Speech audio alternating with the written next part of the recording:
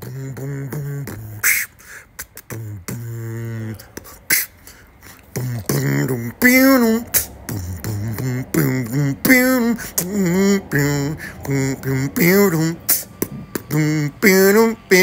boom, boom. Hey, it's Motell Granite the Great. Enjoy my videos. Love y'all.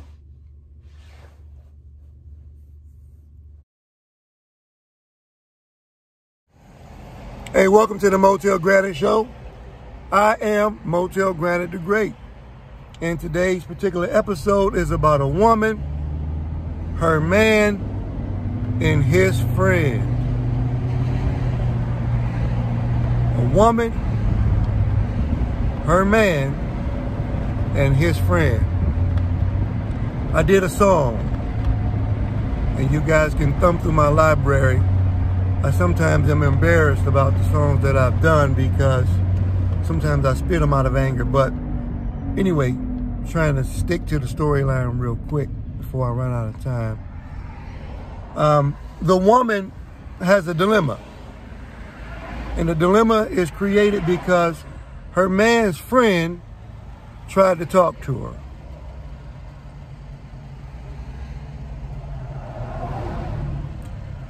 And everybody that knows anything about relationships, this is a twist and an entanglement, no point intended, that can cause a problem.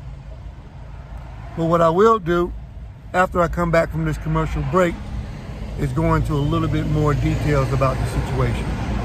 See you guys when I return.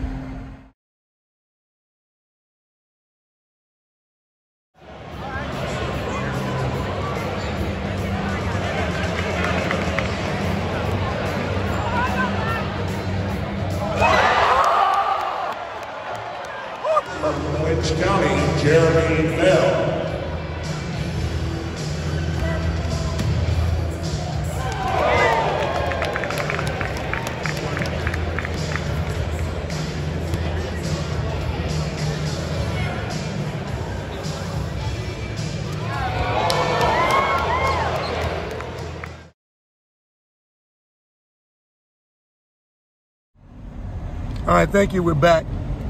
Once again, welcome to the Motell Granite Show, and I'm talking about a woman, her man, and his friend. So the lady is caught in a dilemma, trying to decide on whether she should tell her boyfriend or not that his friend tried to talk to her. Now she knows her boyfriend is crazy, that he has a capacity to blow his wick real quick and kaboom and go nuts. So she's caught and trying to figure out what should she do. So in this particular episode that I did, she decides to tell him. So she tells him, what do you think he did? Yep, top came right off of his scalp. And this applies to anybody who has a boyfriend in this particular situation. So he blows his top and uh, he gets ready to race off to go and handle this particular business because this is a no-no in the male community. This causes a lot of uh, pain and anguish and the ego of a man just can't take it. But what I will do is come back with the final situation in this particular episode that I'm talking about today, the storyline between a woman, her man, and his friend. Be back after this for the last stanza.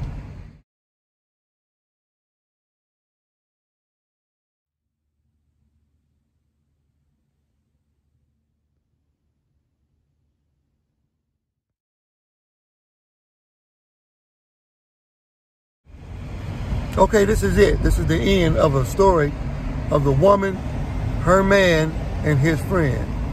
So now she's told him he's upset. He went to this little box that he has gray tape on, pulled out his heater, jumped into his Chevrolet, and went rolling in the nighttime, headed to his friend's house. But what he didn't understand is that his friend was preparing an ambush for him.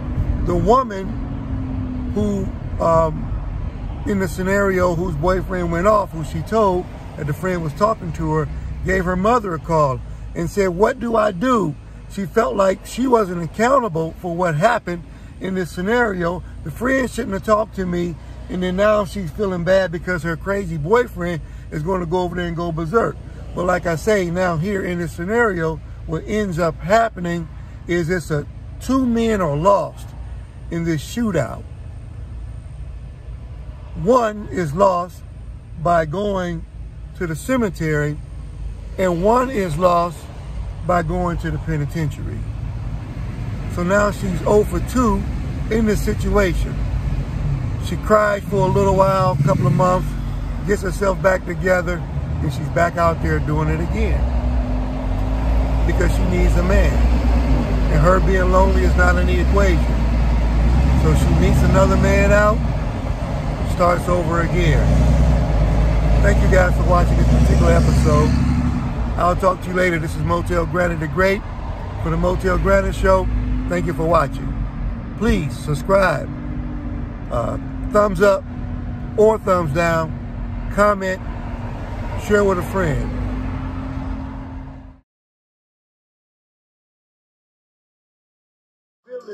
Man, this ridiculously spoken story because they want to see. They go ahead and tell you something that is real. They said, I want to tell you the truth, but don't kill. Your friend tried to talk to me. Now they knew this crazy motherfucker would snap. They just knew that they would go ahead and pop his naps. And for the white boys, they kill their strands. You just knew that that was going to happen then. You tried to talk to him and tried to grab his arm then. You tried to stop him from going to get that small box that got that gray tape on it and open up that Glock and go inside it and get in that Chevrolet and rock. You knew this. You knew you were stupid, like Cupid. You was hoping you could see blood. That was a deep one. You thought it was a heart. Now he's gonna try to blow your man apart. Your friends gonna do an ambush. The ambulance surely will be called now. You go back inside of the house and try to hide. You call your mama because you scared now. You know Danny is a crazy motherfucker. He's dangerous and he do run the street. You knew you had a thug every day when y'all meet. You just wanted to see what happened when he faced the feet. Telling him that his friend tried to talk to you. You knew exactly what he would do. Go crazy. Go nuts. Pull out his pistol. Buck, buck, buck, buck. You knew his friend would now be dead. But you didn't realize that he would wind up in jail. Now you 0 for 2. Get a new dude and start the story over. Tell me what. Man, listen. Motell Granite the Great. this is a vicious cycle every day. Women do it one time, they do it two. And they stand back and say, what did I do? I did nothing. I didn't tell him to do that. He rushed off. I was just hoping that I could tell the truth about the situation. But you knew that he was dead from that penetration. Yeah, you understood the storyline.